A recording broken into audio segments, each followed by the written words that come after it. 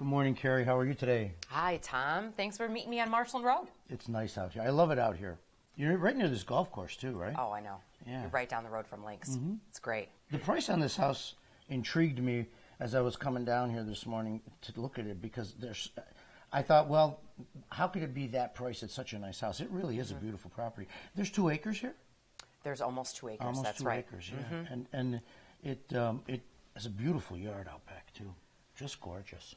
Goes all the way back, and you actually have frontage to the river all the way back. Well, that's why there's a kayak in the garage. That's right. That's right. Kayaking, fishing, Yeah, it's cool. your heart's desire. You have access to the river.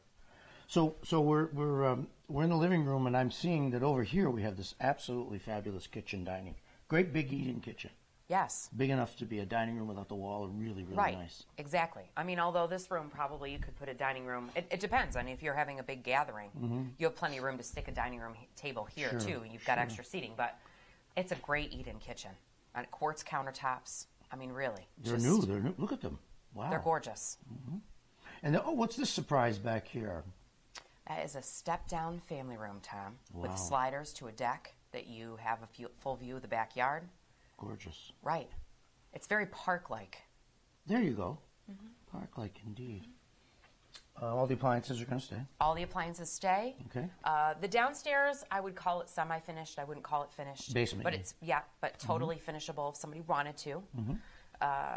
Newer furnace, newer. Newer furnace, newer water heater. Uh, it is actually on uh, public sewer here. Oh, I didn't realize it came down here. Right. Yes. Yeah, that's a great yeah, thing. yeah. But it has a well. Well, that's even better, maybe. Right. Yeah. So Tom, why not shoot a, a section in the bathroom? Because let's face it, ten of us could be in here. This is great. Right. You might call this a party bathroom. Maybe you've got your uh, whirlpool tub, You got your shower. stand-up shower. And it's bigger Great than vanity. usual. Shower's yeah. bigger than usual, so you don't bang your elbows. Right. Exactly. And first floor laundry through these closets. All, all in. This is this is really Right. nice. I'm so glad you stopped me before we went back upstairs. Yeah. Now let's go upstairs. Okay. All right. You got it.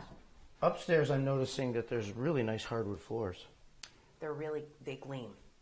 They're in great condition. They're all throughout the three bedrooms. There's three bedrooms. Right. okay. Three bedrooms. They're good size.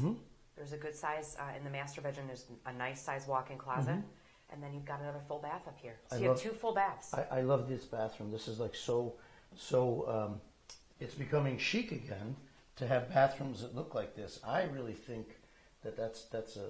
I love it. I just love these bathrooms. I love the black and white floor. I love the blue and the black border. It's really cool. yeah.